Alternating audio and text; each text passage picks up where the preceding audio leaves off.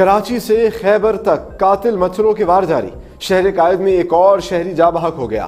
حالیہ ہلاکت سے کراچی میں ڈینگی سے مرنے والوں کی تعداد تینتیس ہو گئی۔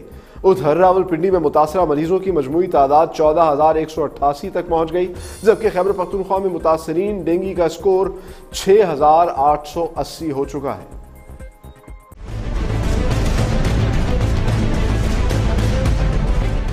جان لیوا مچھروں کے سامنے انتظامیہ بے بس۔ کراچی میں ڈینگی وائرس نے ایک اور شہری کی جان لے لی۔ ناظم آباد کا رہائشی بتیس سالہ نادر علی نجی ہسپتال میں زیر علاج تھا۔ ادھر راول پنڈی میں ڈینگی وائرس سے متاثرہ مریضوں کی آمد کا سلسلہ بھی جاری ہے۔ گزشتہ چوبیس گھنٹوں میں مزید اٹھارہ مریضوں میں ڈینگی وائرس کی تصدیق ہوئی۔ پوٹوہار ٹاؤن سے سات مریضوں میں ڈینگی کی تشخیص کی گئی، جبکہ میونسپل کارپوریشن کے مختلف علاقوں سے دو مریضوں میں ڈینگی ٹیسٹ پازیٹیو آیا۔